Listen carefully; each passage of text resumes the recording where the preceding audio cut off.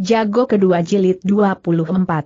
Sementara memusatkan pikiran pada perlawanannya, kuping Tiang Giok menangkap derap kaki orang berlari-lari ke arah mereka. Sadarlah si pemuda bahwa murid kedua Pet Chie Hujin mendatangi yang akan menambah berat tugasnya. Ia cepat bersuit untuk memanggil kudanya, namun beberapa saat telinganya tak mendengar derap kuda itu walaupun berulang-ulang dilakukan sedang pihak yang membantu lawan telah datang lebih dulu di tempat gurunya. Dengan sepasang golok terhunus dia mengawasi kedua orang yang sedang bertempur. Tak guna engkau memanggil kudamu itu karena binatang ini telah terikat erat di pohon, EJ, si Nona yang kini bermata satu. Tiang Giok tidak menyahut karena ia sedang menghindar rangsukan dari si iblis betina. Pat Chie Hujain berpaling pada Seng murid engkau layani dia, aku memburu dulu murid durhaka itu. Sekali kebaskan tangan guru ini melewati tubuh si pemuda untuk menyusul Yali Kiong Chu yang telah beberapa puluh tindak di muka walaupun dengan terhuyung-huyung jalannya. Tiang Giok niat menikam tapi Kua Hian Li telah lebih dahulu menalangi menggantikan sang guru membacok dengan goloknya. Sejak dikalahkan lagi oleh si jago kedua nona itu ganti senjata pecutnya dengan sepasang golok. Karena dia pun seorang berbakat dengan cepat bisa menguasai permainan senjata ini. Hanya sayang karena pendek dia tidak bisa memperlihatkan permainan goloknya segera. Tiang giok ayun pedangnya buat menangkis tanpa memperhatikan. Tak bisa dicegah lagi suatu bentrokan terjadi, akibatnya Hian Li jadi kaget ketika senjatanya terpapas kutung jadi dua. Maka ketika si pemuda maju membabatnya lagi dia tak berani menyambuti dengan goloknya yang masih utuh. Untuk menghindari dia lompat mundur, kesempatan ini tak disia-siakan Tiang Giok guna memburu ke arah belakang Pet Chie Hujain dan menikam. Si iblis betina merasakan adanya sambaran angin berpaling sambil menyampok namun secepat kilat Tiang Giok telah menarik senjatanya dan membabat ke arah kaki. Pat Chie Hujin melengking nyaring, dia jejakan kakinya mencelat mumbul. Sementara tubuhnya turun tangan kirinya meraih pedang hitam yang diselipkan di punggungnya. Dia lemparkan pedang ini ke arah Seng murid. Gunakan itu serunya. Kuahian Li girang menyambutinya.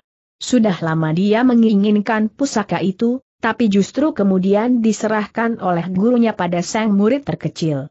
Namun dia tak berkata apa-apa karena tahu tak gurunya yang tak senang dibantah. Kini toh akhirnya pedang pusaka itu diberikan padanya terobatilah sedikit rasa sakit hatinya. Hian Li lemparkan sepasang goloknya. Dia cepat mencabutnya dan memburu. Dengan berani Tiang Giok telah mengirimkan tikaman bertubi-tubi kepada si iblis betina dalam usahanya merintangi dia maju terus agar Yali Kiong Chu mencapai jarak sejauh mungkin. Hanya karena kepandaiannya memang tinggi Pet Chie Hujin selalu dapat menghindari. Paling akhir si pemuda menusuk dengan ilmu pedang ajaran dari Sumakuan. Ia balikan tubah waktu rasakan desiran angin dari belakangnya hingga pedang Kuahian Li lewat di sampingnya. Tak mau kalah gertak ia memapras tangan lawan, Hian Li telah tarik senjatanya buat menangkis. Tiang Giok terlupa dan biarkan kedua senjatanya bentroh, ketika lelatu api munkrat baru ia ingat bahwa yang digunakan lawan adalah senjata bekas milik Yalik Yongchu. Saat itu si iblis betina yang telah habis akal pun telah memberikan aba-aba. Serang teriaknya. Kuahian Li segera gunakan pedangnya menyerang bertubi-tubi untuk memenuhi perintah sang guru. Mau tak mau Tiang Giok dibuat repot untuk melayaninya. Karena hakikatnya Kuahian Li adalah seorang ahli pedang, maka serangan-serangannya semua tak bisa diremehkan. Apalagi dengan gurunya berada di sampingnya makin membuatnya menyerang dengan bernapsu. Kita kepung bocah ini dulu, masa tidak bisa memampuskannya segera melihat gelagat menang Pet Chie Hujain berbalik pikir. Dia rasa dengan tak ada yang merintangi tak sukar untuk mencari persembunyian Yali Kiong Chu yang tak mungkin bisa lari cepat-cepat. Segera dia ayunkan tongkatnya untuk mengemplang si pemuda dari belakang. Tiang Giok tahu serangan itu dan menghindar. Ia jadi tambah repot sewaktu tongkat iblis betina itu semakin gencar diarahkan kepadanya. Menghadapi Kuahian Li mungkin ia masih akan lebih unggul, tapi dengan dua lawan satu terang ia akan jatuh di bawah angin. Benar saja tak lama mulai kelihatan tanda-tanda ia keteter. Suatu ketika bentrokan dua pedang mereka tak bisa dihindarkan. Dalam keadaan masih merasakan kesemutan untung Tiang Giok bisa menghindar rayunan tongkat yang lewat hampir menyerempet kepalanya. Namun kupingnya merasakan juga pedasnya dari sambaran anginnya. Sampai di sini si pedang kilat hanya bisa bertahan. Sekarang ia mencoba mencari daya untuk melarikan diri dan memancing sejauh mungkin kedua orang itu dari arah mengejarnya pada Yali Kiong. Akibat pikirannya melamun hampir saja pedang Kua Li menusuk lengan kirinya. Dalam keadaan terkesiap ia jadi lengah dan kembali ayunan tongkat si iblis betina mengancam dirinya. Kali ini ia tak bisa mengelak dengan tepat serangan itu. Ujung tongkat si iblis betina menyerempet menghajar pundak kanannya. Sakitnya terasa bukan main hingga ia tergentak surut mundur dua tindak. Beruntung ia tidak terhuyung yang akan menyebabkan kuda-kudanya gempur. Tikaman yang kemudian menyusul dari Hian Li bisa dihindarkannya dengan baik. Waktu loncat ke samping tiang giok ayunkan tangannya untuk menghamburkan biji caturnya. Kedua orang yang hendak menyerbu tertahan sesaat. Dengan tongkatnya Pet Chie Hujin menjatuhkan semua biji catur yang diarahkannya, sedang Hian Li hanya menghindar diri karena khawatir sebelah matanya tak cukup awas melihat senjata-senjata rahasia yang menyasar. Tiang Giok cepat putar tubuh dan lari sekencang-kencangnya.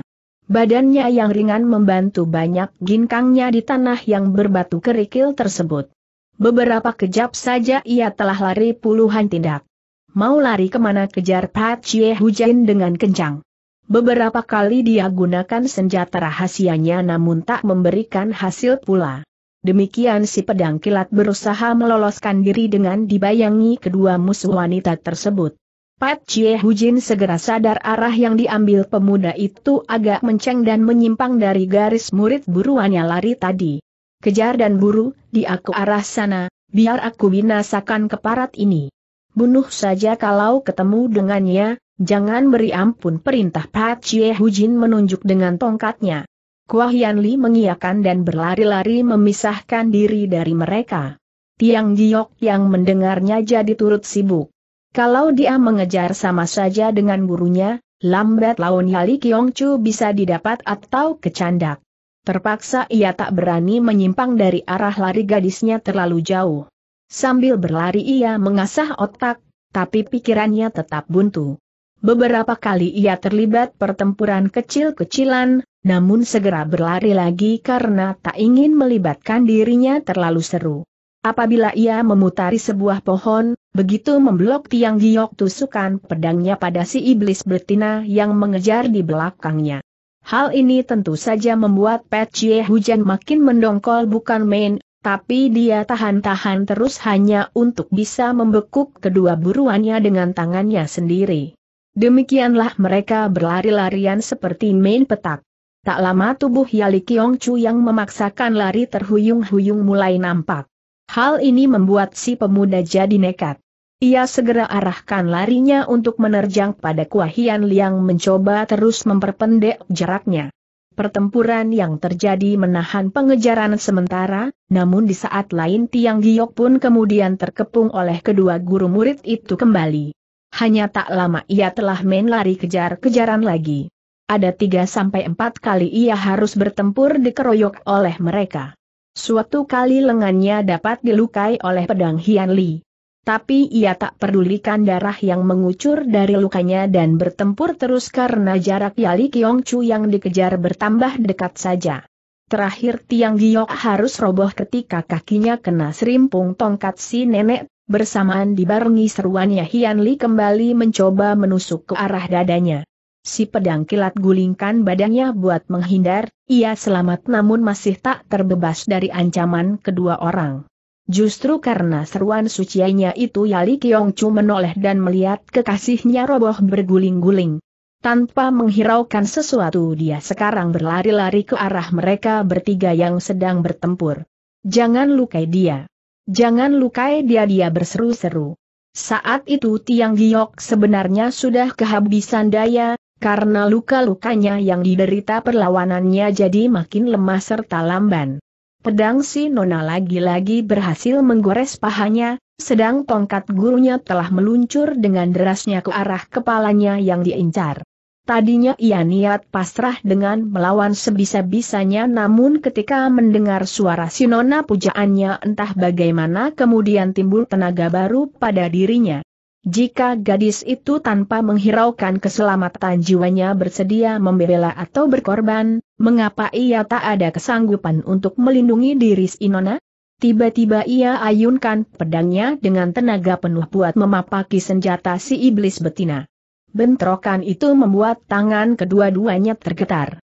Tongkat Pet Chie menceng dan terayun ke samping, sebaliknya pedang Tiang Giok berhasil menyayat kepala serigalanya.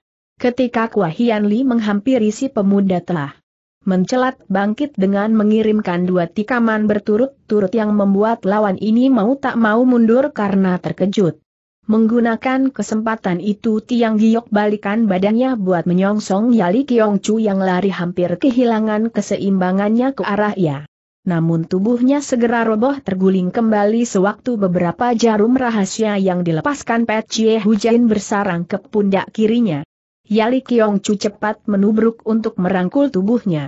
Sedang Pet Chie Hujan tertawa kesenangan, pikirnya sekali ini si pemuda pasti dapat dituaskan.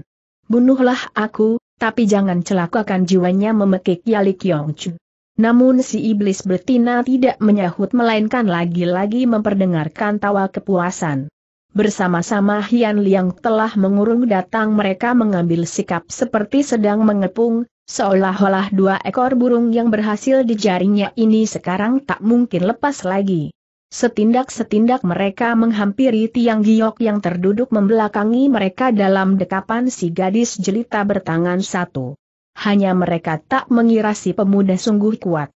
Berkat ramuan obat yang sering diminumnya kini tiang giok seperti kebal dengan tak mempan sembarang racun berbisa. Setelah menutup jalan darahnya ia kerahkan agar racun itu merembes keluar, waktu perlahan-lahan ia menekan keempat batang jarum itu melejit keluar. Gerakan ini demikian halus hingga tak kentara, kedua guru murid hanya melihat seakan-akan si pemuda cuma meraba luka di pundaknya. Maka mereka tidak mengira bahwa Tiang Giok akan melakukan perlawanan hebat kemudian. Ketika merasa jaraknya telah cukup dekat mendadak ia mencelat mumbul dan balikan tubuhnya. Pedang yang dikerjakan berhasil melukai pundak kanan Kuahian Li, sedang serangan yang kemudian menyusul ganas telah membuat terkesiap si iblis betina hingga hampir kecundang. Beruntung Pat Chie Hujin memang lihai serta gesit, cuma pakaiannya di bahu yang robek tanpa dia terlukai. Namun ini telah cukup membuat dia tersurut mundur. Tendangan yang susul menyusul dilakukan si pemuda telah membuat pergelangan tangan si Nona kuat tertendang lagi dan hampir saja pedangnya terlepas. Sebat sekali tiang giok putar kembali dirinya dan menyambar tubuh Seng Kekais buat diajak lari seperti terbang. Sambil memaki-maki kalang kabut Pet Chie Hujin mengejar dengan tak kalah kencang selanjutnya mereka kejar-kejaran lagi seperti semula. Hanya kini Tiang Giok membawa beban hingga larinya kurang leluasa. Maka tak berapa lama ia telah kecandak pula oleh si iblis betina. Tanpa sungkan Pet Chie Hujin ayunkan tongkatnya menghantam ke bebokong si pedang kilat. Tiang Giok rasakan sambaran angin, ia putar pedangnya ke arah belakang tanpa menoleh. Namun sekali ini iblis betina itu ternyata telah berlaku lebih cerdik. Serangan yang pertama hanya gertakan belaka hingga tangkisan dari si pemuda mengenai tempat kosong. Pukulan yang kemudian datang barulah benar-benar serangannya. Karena tak mungkin menghindar Tiang Giok kerahkan tenaga ke punggung untuk menerimanya. Namun tak urung tubuhnya pun jatuh menelungkup menerima hajaran tongkat si nenek ini, tulang pinggangnya dirasakan retak. Sambil menahan kesakitan hebat yang terasa amat sangat ia lepaskan cekalannya pada Yali. Kiong Chu dan menghimpun segenap sisa tenaganya. Hingga ketika tongkat itu terayun untuk mengulangi hantamannya ia segera gelindingkan tubuhnya mendekati. Tongkat Pet Chie Hujin mengenai tanah, sebaliknya kini kakinya terancam serimpangan dari pedang lawan dan tendangan bertubi-tubi yang diarahkan ke dadanya. Dengan gemeretakan giginya nenek ini surut menghindar. Kesempatan itu digunakan oleh Tiang Giok untuk meninju sehingga membuat Kuah Hian Li terhuyung. Namun ketika tongkat Pet Chie Hujin kembali terayun ke kaki ia kalah gesit dan membuatnya terbanting dengan pantat mencium tanah, Yali Kiong Chu segera memburu dan mendekapnya. Jangan lukainya, ia tidak bersalah. Kalau yang engkau mau adalah diriku, bebaskan dan biarkan ia pergi dia berseru. Saat itu Pet Chie Hujin yang telah ayunkan tongkatnya ke atas hentikan di tengah udara. Dia tertawa gelak-gelak seenaknya, meskipun demikian tidak menolong wajahnya yang jelek. Tapi tiba-tiba dia hentikan tertawanya, sebuah derapan kaki kuda lari mendatangi. Yang bergembira adalah si pedang kilat, ia mencelat bangun serta menarik tubuh Yali Kiong Chu ke samping sambil bersuit nyering. Sebelum Pat Chie Hujin sempat bertindak apa-apa tubuh seekor kuda telah memisah di antara mereka, sementara Kua Hian Li belum bisa berbuat sesuatu karena baru memperbaiki kedudukannya. Tiang Giok gesit sekali telah meloncat ke atas tunggangannya dengan memernahkan pula seng kekasih di mukanya. Hahaha, selamat tinggal nenek jelek bangkotan. Semoga cepat ke akhirat ia tertawa mengejek. Wajah monyong dari si nenek tambah merongos dengan mata mendelik-delik. Dia memburu serta keperukan tongkatnya ke arah kuda yang mulai mencongklang ke depan.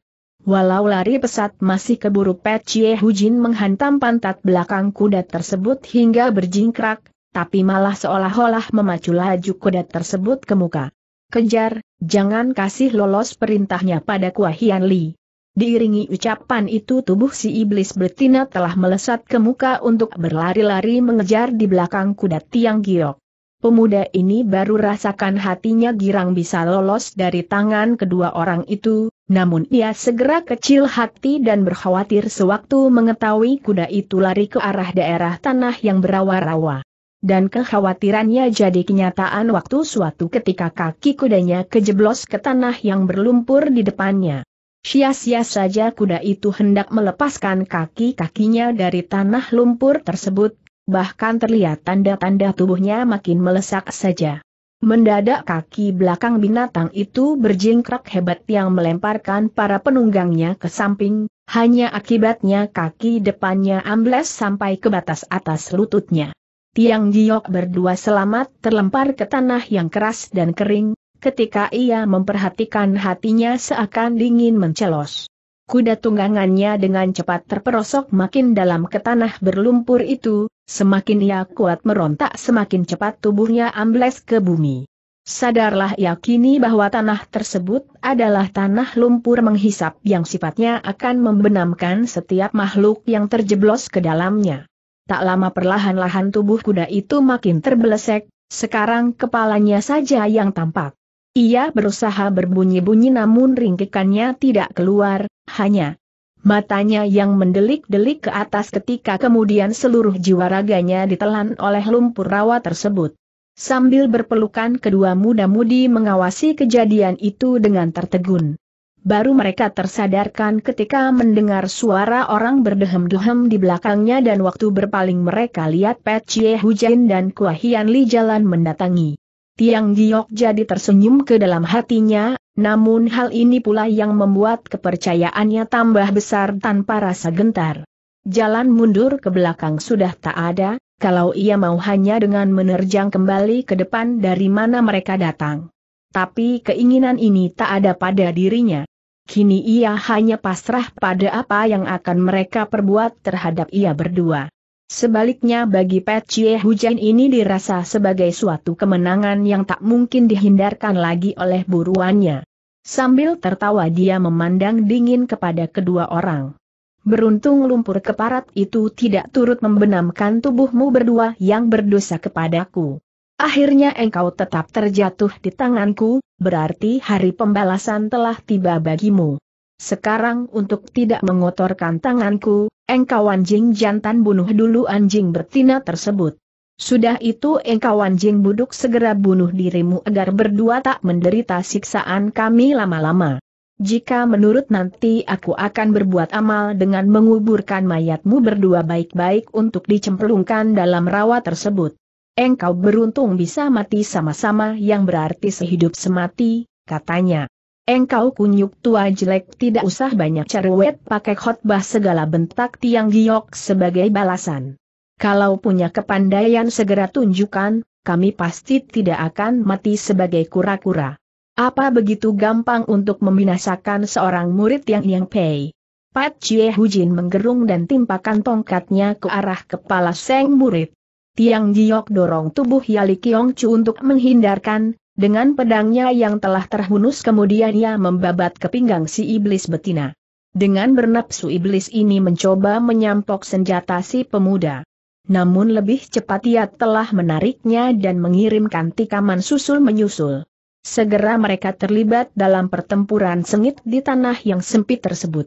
Tiang Giok tak berani bergerak leluasa karena di sebelahnya adalah rawa yang menghisap itu di samping ia masih mempunyai tanggungan untuk menjaga Yali Kiong Chu. Pertempuran mereka berlangsung untuk belasan jurus. Kedudukan mereka boleh dikatakan seimbang karena pertempuran seorang lawan seorang. Masih tidak hendak menyerah membentak suatu ketika Pet Chie Hujin Seraya menyerimpung kaki si pemuda. Coba saja menjengek Tiang Giok. Lihat si iblis betina tudingkan tongkatnya. Entah sejak kapan Kua Hian Li telah tandalkan ujung pedangnya ke leher Yali Kiong Chu. Baru sekarang ia tersadar telah lengah karena asiknya terlibat dalam pertempuran barusan. Mendadak saja Tiang Giok rasakan tangannya lemas tak bertenaga. Lepaskan senjatamu jika tak ingin leher kekasihmu itu dilubangi pedang perintah Pat Chie Hujin bengis.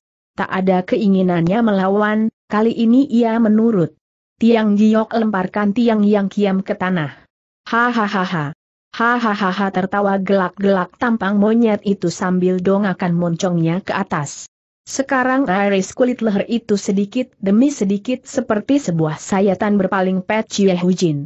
Ketika Tiang Giok niat bergerak, si iblis betina telah tekannya ujung tongkatnya di pundak pemuda ini. Sabar, engkau lihat saja pertunjukan itu dia menjeringai. Tiang Giok tak berdaya hingga ia hanya bisa tundukkan kepalanya. Kuah Yan Li tersenyum iblis pula memandang pada sang guru. Lakukanlah terdengar aba-abanya. Dengan berani Yali Kiong Chu pentang matanya untuk memperhatikan siksaan yang akan dilimpahkan pada dirinya. Kuah Yan Li kelebatkan pedangnya untuk memenuhi titah gurunya itu, namun ketika baru saja tangannya terayun sebuah benda menghantam pedangnya. Kring. Dibarengi dengan terdengarnya suara tersebut senjatanya ini telah terlepas dan jatuh ke atas tanah. Tidak gampang-gampang untuk mengambil jiwa anak murid Tiang Yang Pe terdengar satu suara serakaku. Tiang Giok cepat berpaling karena merasa telah tak asing lagi akan suara ini.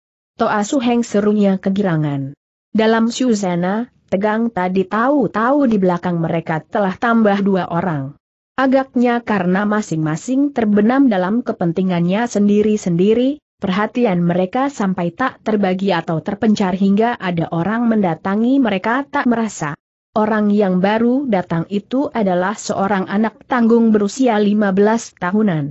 Ia menggendong seorang lelaki tua di punggungnya yang mengenakan pakaian sastrawan warna hijau.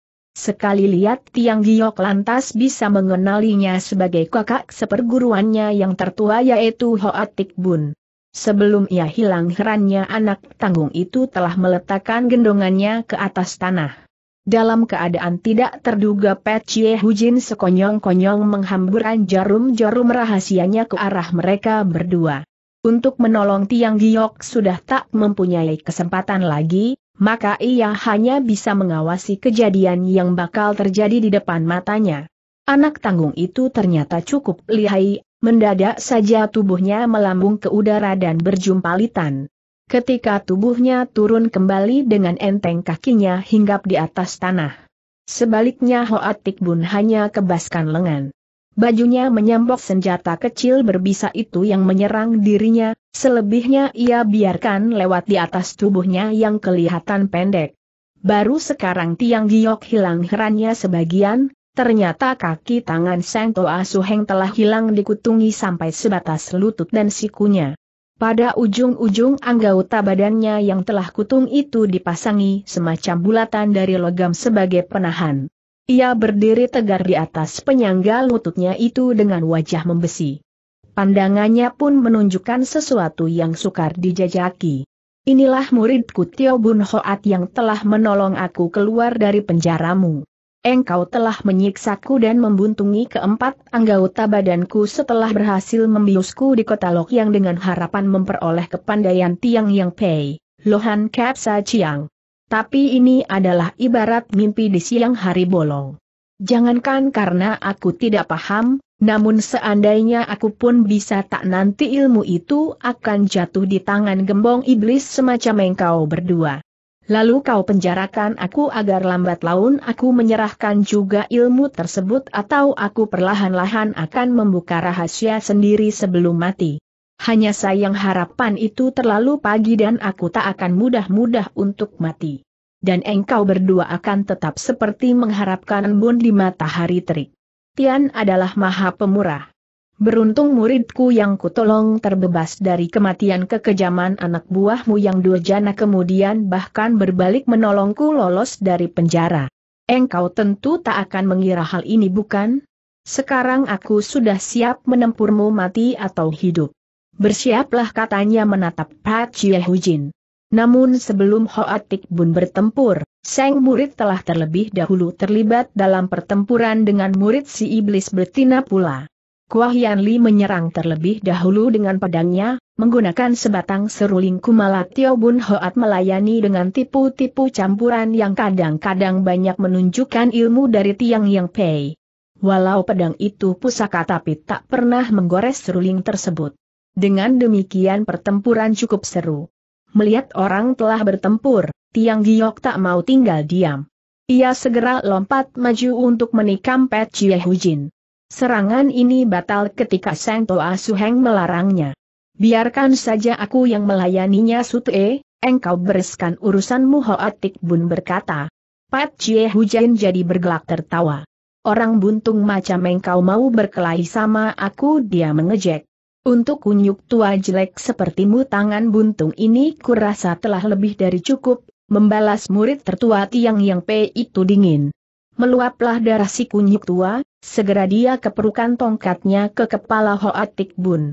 Walau buntung kakinya ternyata ia cukup gesit, sekali loncat tubuhnya telah berpindah tempat hingga pukulan itu mengenai tempat kosong. Demikian beberapa kali Tik Bun berpindah-pindah tempat dan sekalipun belum balas menyerang.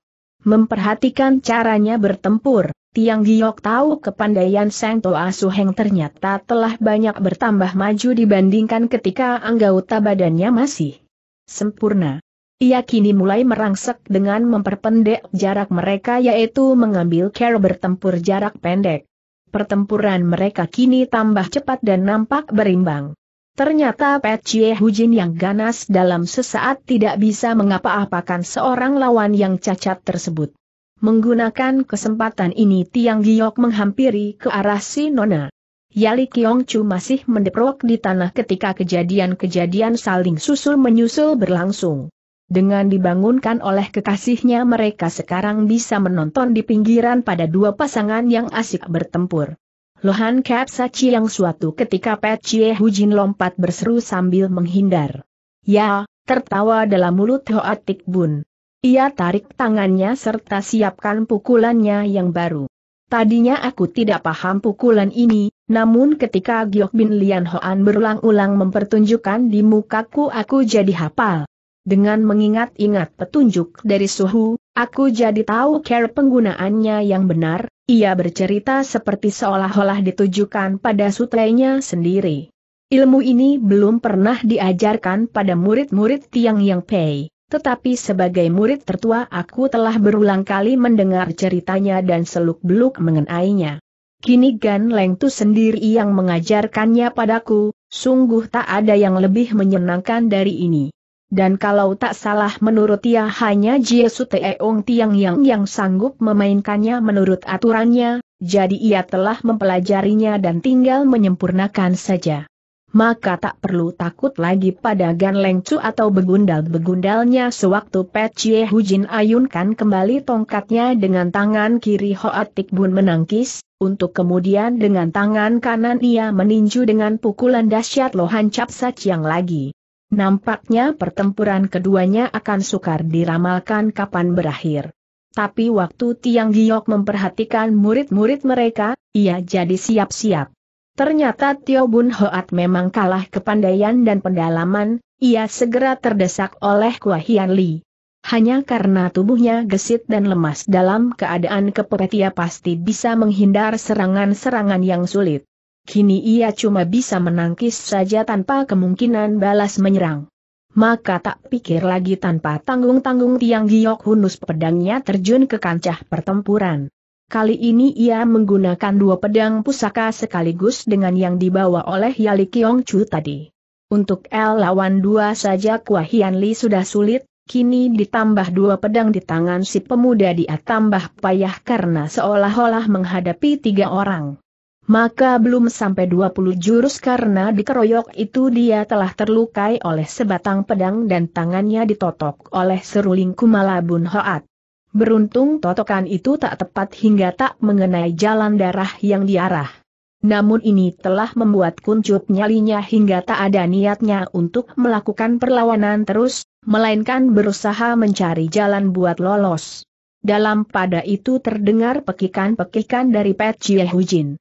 Sewaktu Tiang Giok berpaling dia lihat Toa Suhengnya sedang bergulingan menghindarkan. Serangan jarum-jarum beracun yang dihamburkan oleh si iblis betina itu. Tak menunggu lagi ia segera tinggalkan pertempuran yang dihadapinya dan putarkan salah satu pedangnya ke muka guna menyambuti senjata-senjata rahasia kecil yang masih ditaburkan. Semua serangan Pat Chie Hujain jadi punah. Tak ada lain jalan sekarang terpaksa dia melayani dengan mengandalkan kekuatan senjatanya. Dengan menggunakan dua pedangnya Tiang Giok bisa menahan laju tongkat tersebut, tetapi setelah sekian lama bertempur tak melihat Toa Suhengnya turun tangan ia jadi was-was. Benar saja ketika diperhatikan sesaat Hoa Tik Bun sedang pejamkan mata untuk mengerahkan tenaga dalamnya. Agaknya dalam penyerangan tadi ia telah dilukai oleh beberapa jarum rahasia si iblis betina. Tiang Giok jadi khawatir, justru karena bimbang ini Pet Chie Hujin bisa memperbaiki kedudukannya dan menekan. Dengan agak repot ia melayani agar tetap seimbang. Mendadak tubuh Hoatik Bun menggelinding ke arah si iblis betina, sebelum semuanya sadar ia telah berhasil menyekap kedua kaki Pet Chie Hujin dari belakang. Lekas habisi dia, Sutei serunya. Tiang Giok menurut dan menghujamkan pedangnya. Iblis betina itu merontak walau kakinya tak bisa bergerak, akibatnya pedang si pemuda hanya berhasil menggores bahunya saja. Ketika ia ulangi membacok dengan kedua tangannya Pet Chie Hujin mengangkat tongkatnya menangkis. Kemudian dia gulingkan badannya untuk melepas sekapan Hoa Tik Bun tapi murid Tiang Yang P ini tidak menghiraukan dan mencoba terus menghimpit kaki itu yang hampir lepas hingga beberapa lama tubuh mereka berdua berguling-guling. Sewaktu Pet Chie Hujain berhasil berdiri lagi mereka jadi berhadapan dengan tangan Tik Bun tetap memeluk kakinya. Tidak tahu malu dia memaki. Iblis betina ini ayunkan tongkatnya buat mengemplang kepala lawan di bawahnya. Tapi Tiang Giok yang telah terlebih dahulu datang memburu memapaki dengan pedangnya menangkis sekuat tenaga. Karena masing-masing menggunakan tenaga penuh, benturan itu menyebabkan kedua senjata jadi mencelat jatuh ke tanah beberapa tindak. Namun di tangan kiri si pemuda masih menggenggam sebilah pedang yang lain. Cepat binasakan dia, Sutee memerintah Hoatik Bun. Untuk sesaat Tiang Giok sangsi hingga ia tidak terus mengerjakan senjatanya untuk ditusukkan ke jantung si iblis betina yang tak terjaga. Biar bagaimana masih ada rasa jiwa ksatria pada dirinya dalam menghadapi lawan yang tidak berdaya, apalagi ini terang-terangan dikeroyok. Jangan sangsi Sute. Tak usah hiraukan aku. Aku sudah keracunan dan tak mungkin tertolong, ayo enyahkan segera. Lakukan berteriak Tik Bun memperingatkan. Dengan gemas Pat Chie Hujin menjambak rambut Hoa Tik Bun seakan-akan kalau bisa dia hendak memotes kepalanya tercabut dari lehernya. Baru dada si pedang kilat bergetar sekarang, sambil kertak gigi dia menikam.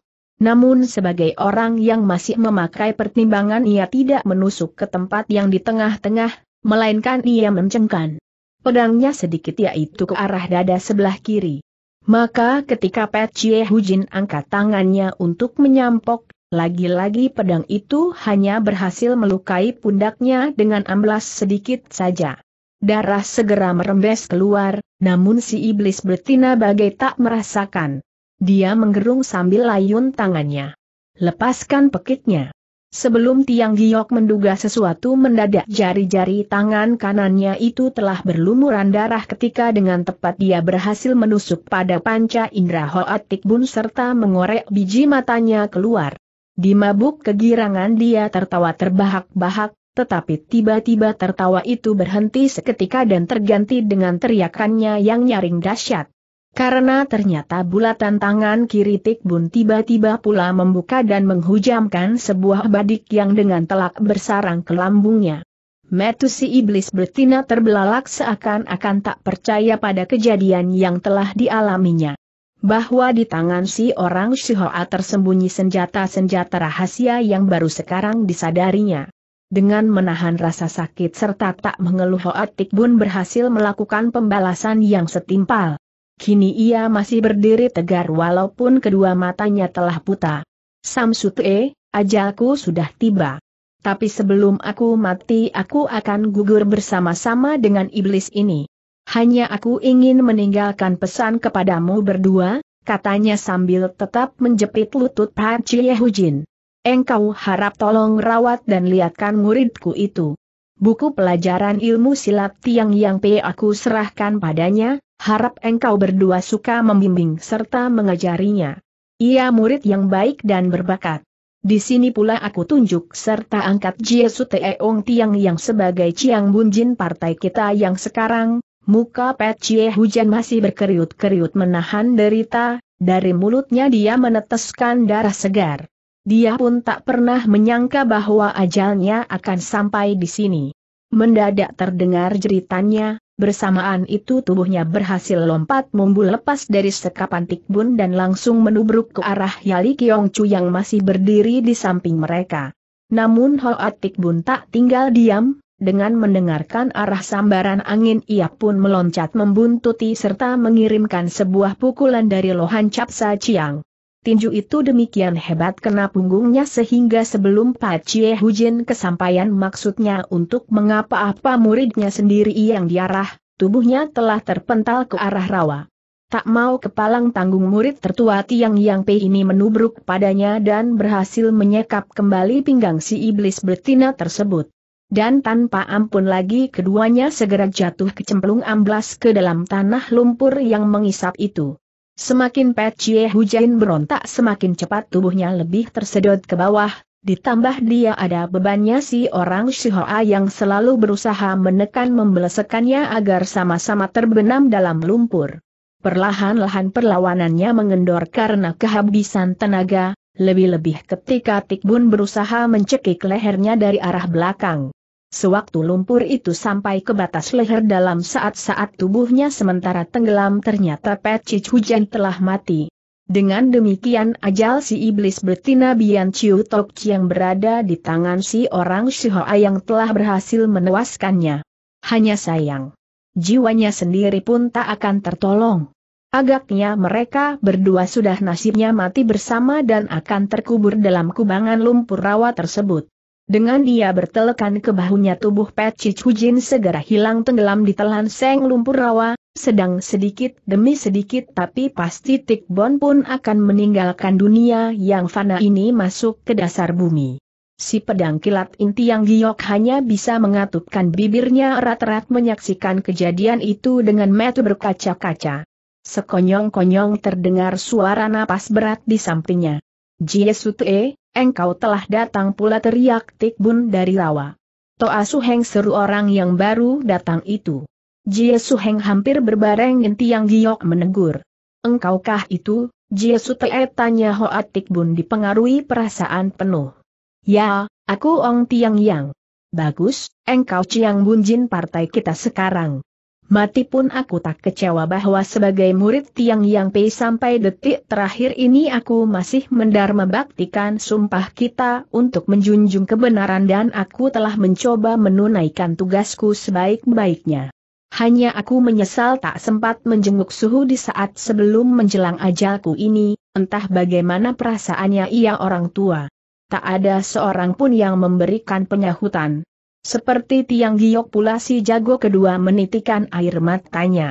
Mereka tak pernah menyangka akan berkumpul lagi bertiga dalam keadaan demikian. Pertemuan yang mengharukan dengan peristiwa yang mengenaskan ini. Justru pertemuan yang terakhir menjelang perpisahan dengan kematian Sang Toa Suheng. Tiang yang berpaling pada sutrainya karena lumpur itu pun telah mencapai sampai ke janggut Hoatik Bun. Tenggorokan Tiang Giok bagai tersekat, Jauh-jauh diharapkan kini Seng Jie Suheng tahu-tahu telah berada di sampingnya hanya untuk melihat suatu pemandangan drama kehidupan di antara sesama saudara seperguruan partainya yang akan membekas dan tak terlupakan sepanjang hidup mereka. Jie Sute, atitik apakah suhu baik-baik saja selama ini? Tuh tolong sampaikan. Hormatku yang paling penghabisan pada beliau. Ya, beliau baik. Segera engkau akan menjumpainya, jawab si jago kedua sumber. Kalau demikian jaga diri kalian baik-baik. Gan Leng Tu masih belum dienyahkan. Selamat tinggal, Auf seakan-akan melihat ke arah mereka walaupun dengan kelopak mata. Yang berlumuran darah Hoatik Bundong akan kepalanya sesaat untuk perlahan-lahan turut lenyap dimakan lumpur yang mengisap tersebut. Lenyap pula keperkasaan seorang murid Tiang Yang Pei. Meski demikian ada yang menghibur di hati mereka berdua yang ditinggalkan bahwa Sang Toa Suheng sampai detik terakhirnya tidak pernah gentar menghadapi maut dan telah menunjukkan kepada semuanya jiwa seorang ksatria sejati. Di saat itu terdengar suara gedebukan orang menjatuhkan diri ke tanah. Tio Bun Hoat telah menangis menggerung-gerung sambil tangannya berulang-ulang. Menyembah-nyembah ke arah tubuh Seng Suhu menghilang. Lambat-lambat Tong Tiang yang memungut dua biji mata, Toa Suhengnya yang tercecer di tanah sebagai akibat perbuatan Pat Chie Hujain dan melemparkannya ke dalam lumpur yang sama, sekejap saja sempurnalah jasad Hoa Tik Bun tertelan ke dalam bumi. Kemudian ia pun membangunkan murid yang malang ini. Tio Bun Hoan menurut dan segera memberi hormat kepada kedua paman gurunya. Ada waktu berkumpul ada waktu berpisah. Setiap orang akan mati, maka engkau harus bangga bisa menyaksikan mempunyai seorang guru yang bukan pengecut, si pamanguru kedua mencoba menghibur. Inti yang giok keliarkan pandangannya namun ia tidak melihat lagi bayang-bayang Kuahian Li. Rupanya diam-diam dia telah kabur dari tempat tersebut. Disebabkan luka-lukanya dia tahu tak mungkin mengalahkan si anak tanggung Sitio dengan mudah. Mungkin waktu melihat kejadian ngeri yang menimpa gurunya dia memutuskan untuk mengambil langkah seribu. Apalagi kalau dia tahu kehadiran si jago kedua di situ. Karena semua terhanyut oleh peristiwa yang barusan, bisa jadi dia telah lari jauh dari situ. Padahal ketika tiang yang datang Kuahian Li masih berada di sekitarnya turut menyaksikan. Setelah melepaskan diri dari libatan pertempuran dengan Bun Hoat, dia menyelinap bersembunyi hingga hatinya pun kebat-kebit ketika melihat kehadiran si jago kedua. Dia segera mengambil ketetapan memutuskan untuk berlalu ke daerah utara. Ini pula lah yang menyelamatkan hidupnya selanjutnya bahkan sampai tiang yang sendiri. Tiada dia masih hidup. Namun dendam kesumat itu tak pernah padam. Keempat orang terbenam dalam keharuan yang mencengkam beberapa saat. Tapi akhirnya semua dipecahkan oleh tiang yang yang memberikan petunjuk-petunjuknya. Sekarang engkau turut saja Samsu Syokmu bersama-sama buat sementara. Kalau nanti segala sesuatunya beres, aku akan mencarikan daya agar engkau mempunyai tempat berteduh sendiri. Sesekali aku akan datang memberi petunjuk-petunjuk latihan-latihanmu sampai sempurna, ia berkata ditujukan pada Tio Bun Hoat. Si anak tanggung mengiyakan, merasa dirinya sebatang kera ia tak mempunyai pilihan lain. Kemudian tiang yang berpaling pada si pedang kilat. Sute, kurasa sebaiknya engkau bertiga menyingkir dahulu ke suatu tempat untuk menghindarkan bentrokan dengan si iblis Ganleng Tu. Apabila keadaanmu telah pulih sebagaimana sedia kala, engkau bisa membantuku mencarinya, ia menyarankan. Namun inti yang giok menggeleng. Aku tidak akan menyingkir, mengapa tiang yang heran? Justru aku akan mencarinya mulai sekarang, suara Seng Sute tandas. Sute, engkau tidak bisa bertindak demikian. Aku akan menuntut balas atas kematian Toa Suheng. Tapi engkau bukan tandingannya sekarang. Akan kuusahakan, kukira bukan engkau saja yang bisa membunuhnya Jie Suheng, Sutae seru Tiang yang tercengang. Aku akan membela pula perguruan kita Tiang Yang P dan nama baik Suhu, apa maksudmu? Bukan engkau saja, menyahut Tiang Giok ketus. Baik, Seng kakak seperguruan pun mulai naik darah. Gan Ling Chu adalah bagianku. Engkau tak boleh turun tangan sebelum aku sendiri yang bertempur sampai tewas. Jadi engkau saja yang bisa jadi pahlawan? Tutup mulut bentak Tiang Yang. Atas dasar apa engkau akan mengalahkannya aku tanya. Dengan kedua buah pedangku ini tandas Tiang Giok menjawab. Apakah engkau akan mengagulkan kecepatan pedangmu saja, Mari-mari seketika si jago kedua membalas. Akan kulayani dengan tangan kosong sampai di mana kecepatan kedua pedangmu ini. Bagus si Suteep pun segera menghunus kedua senjatanya. Kita jajal apakah kau kira hanya yang kau saja jago tangan kosong tanpa tandingan. Kedua sesama saudara seperguruan kini berhadapan dengan sikap menantang. Agaknya karena pengaruh kejadian yang menimpa Hoatik Bun telah menyebabkan mereka jadi lekas tersinggung hingga mengaburkan pikiran mereka yang jernih. Sedang kedua muda-mudi yang berada di sampingnya hanya bisa berdiam diri saja karena tak ada keberanian untuk memisahkan mereka dalam suasana yang serba panas. Segera kedua orang terlibat dalam pertempuran yang sengit. Tanpa segan-segan Tiang Giok menggunakan kedua pedangnya untuk melakukan penyerangan sungguh-sungguh. Sebaliknya Tiang Yang pun tak kalah tangkas melayani kecepatan bergerak senjata suteinya. Berganti-ganti mereka saling melakukan serangan balasan, namun tak ada tanda-tanda salah satu keteter meskipun sampai beberapa kali mereka berpindah tempat. Walau nampaknya mereka bertempur sengit didorong oleh rasa panas yang berkobar-kobar di dalam dada, namun ternyata keduanya masih mengingat saling kecintaan sesama saudara seperguruannya. Terbukti mereka tidak saling menyerang di bagian-bagian yang mematikan lawannya. Demikianlah pertempuran itu berjalan beberapa puluh jurus. Gerakan mereka kini tambah cepat hingga sukar membedakan siapa yang diserang atau menyerang, yang menonton di sebelah sampai kabur pandangannya. Karena itu di hati mereka masing-masing yang bertempur timbul rasa sayang dan saling menghargai. Tiang yang jadi kagum atas kemajuan kepandaian Seng Sutue, sebaliknya si pedang kilat pun mengakui keunggulan dari kakak seperguruannya.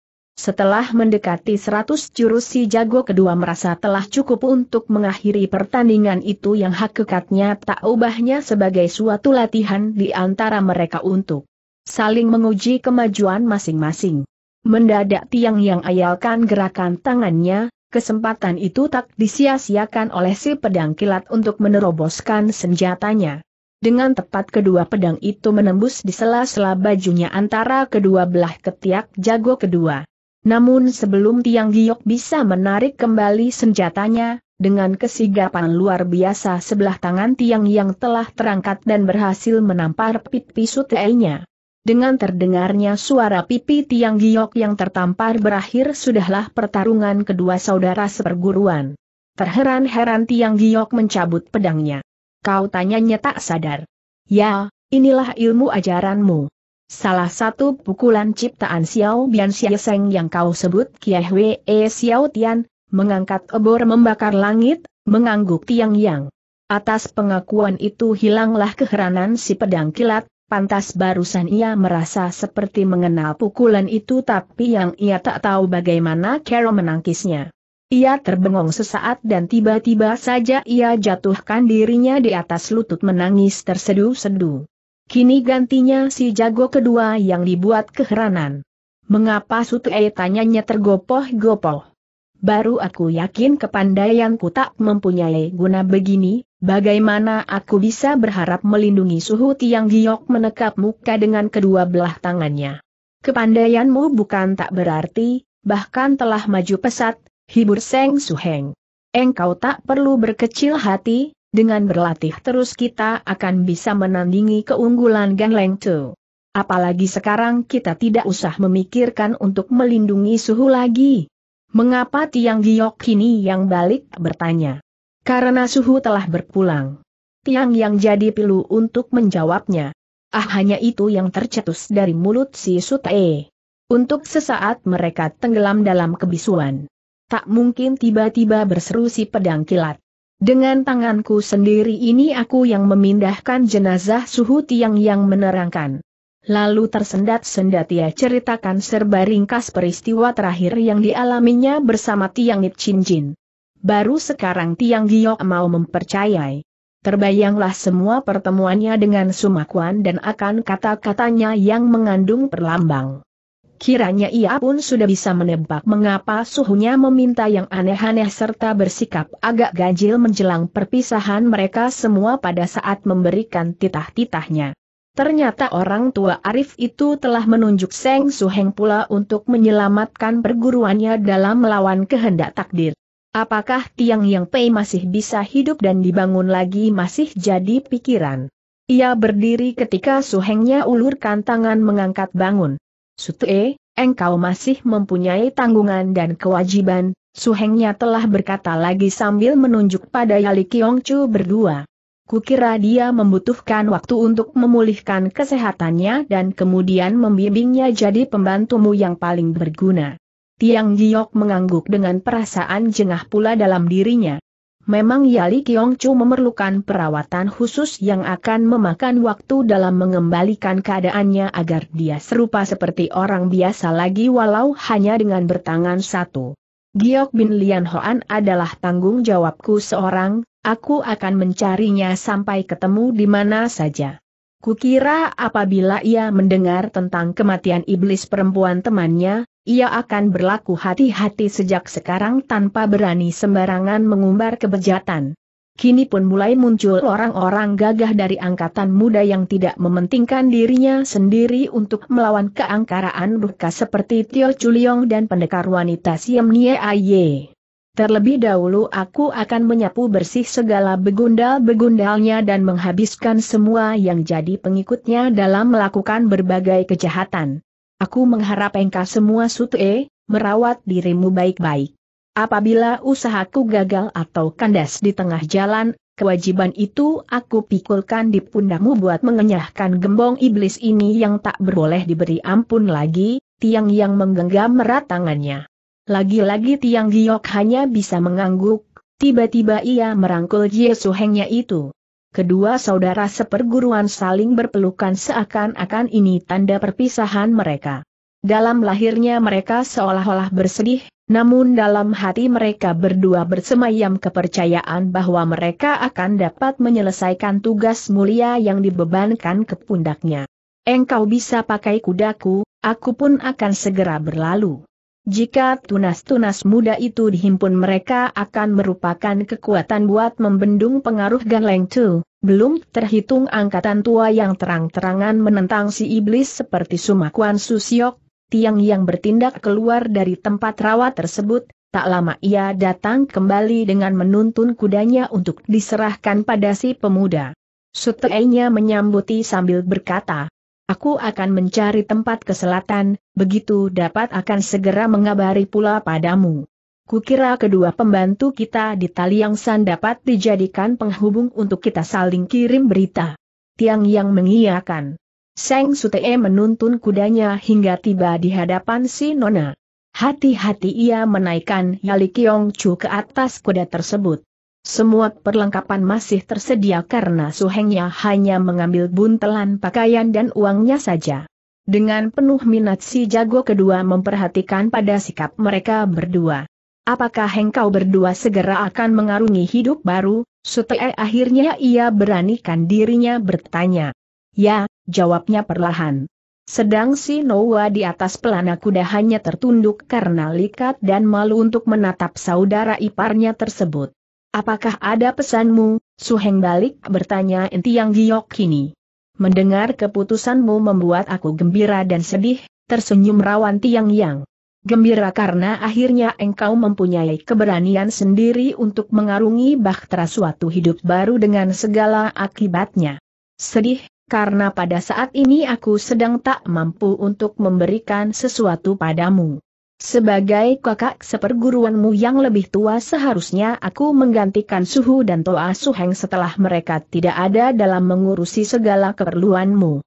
Tapi apa daya, nasib telah melibatkan aku pada suatu percobaan lahir batin yang berat sekali. Jangankan mengurusi namun untuk turut merayakan hari kebahagiaanmu saja aku tak dapat. Engkau benar-benar mengalami hidup dalam suasana prihatin sekali. Ini membuat hatiku terasa berat seolah-olah aku tenggelam ke dalam sesuatu yang tanpa dasar, semakin dalam dan semakin dalam. Aku hanya bisa memberi pesan saja padamu di sini, kelak dalam hidup berumah tangga engkau tak dapat bertindak seperti pada waktu engkau masih sendiri.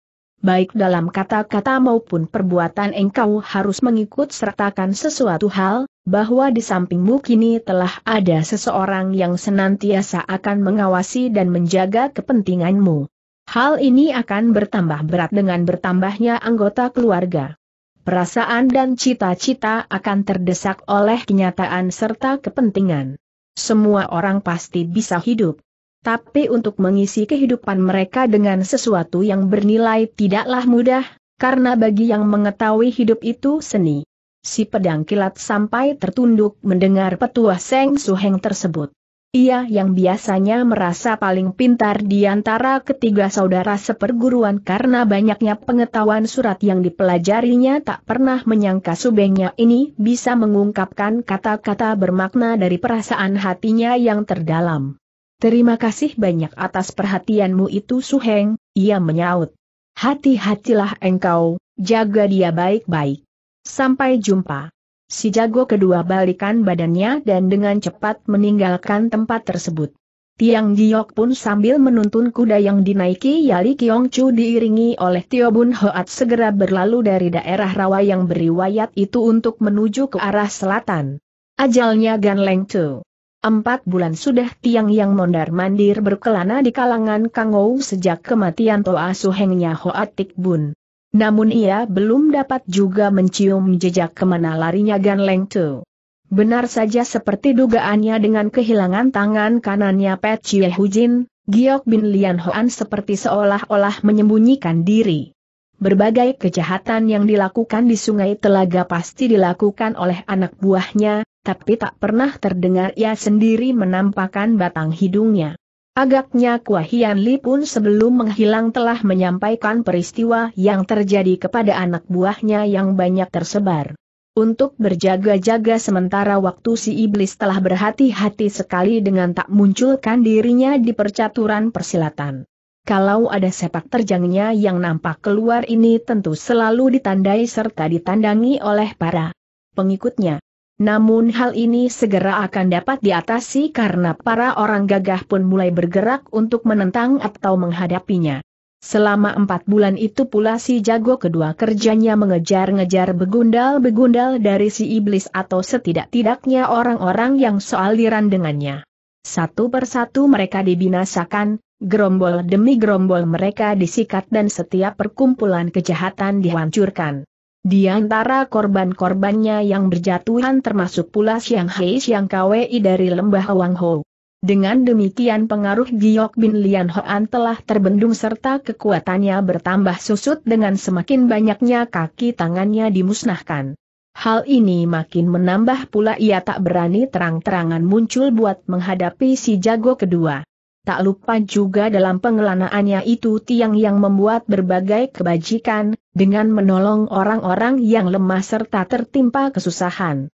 Banyaklah para pendekar yang dibebaskan dari cangkeman orang jahat yang kuat atau berpengaruh. Hingga nama Jie Tai Hiap makin menjulang saja. Tak seorang pun kini yang sanggup melawannya dalam cara bertempur dengan tangan kosong. Pukulannya yang hebat menggetarkan di mana-mana. Dan serangan-serangannya yang menggeledek telah menggentarkan yang berani menghadapinya.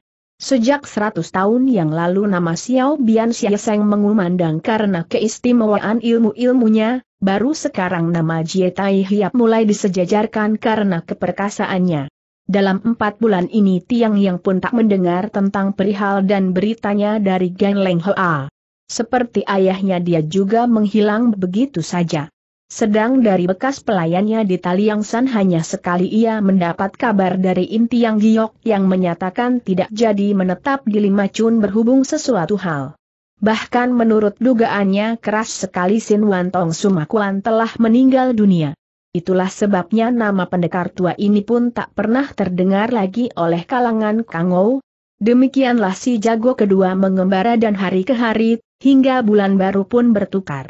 Tanpa terasa enam bulan sudah lewat sejak Bian Chiu Tok Chiang Pet Chie Hujain ditewaskan.